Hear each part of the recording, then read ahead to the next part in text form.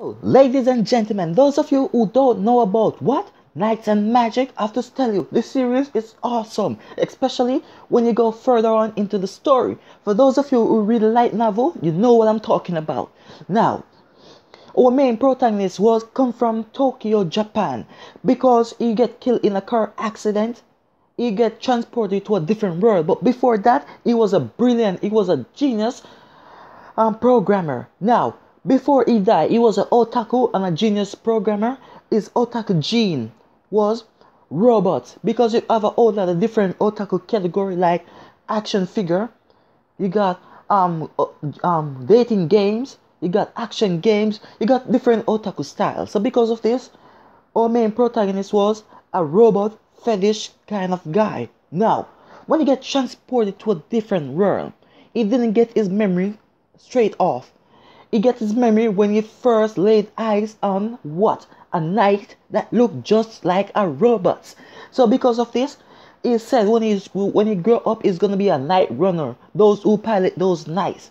But he, he come up to a he come into an obstacle.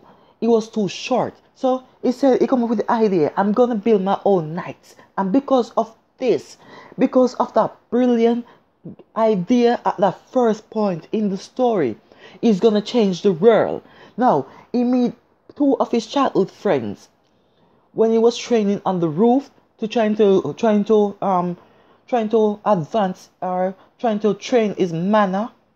That is ma- that is his magic, and because of this, they hit it off straight right there. Now, it seemed like those twins didn't have a fatherly love for their father because their father was um was a noble, and because he was a noble, they didn't have all that connection with their father. So because of that, there was there was there was about to run away from home until they met the protagonist, the MC, and because of this, that changed their life. Now, when they went to school, the protagonist and Aeneas was so good that he destroyed those targets. It was so good. He, his magic was in the middle school category. So because of this, he went to a different class to learn how to make knight runner. He went to a blacks or uh, he went to a knightsmith or a blacksmith, some something like that. He went to there and he come up with the idea. Now, can't wait see what's gonna happen because they was getting attacked by demon beasts.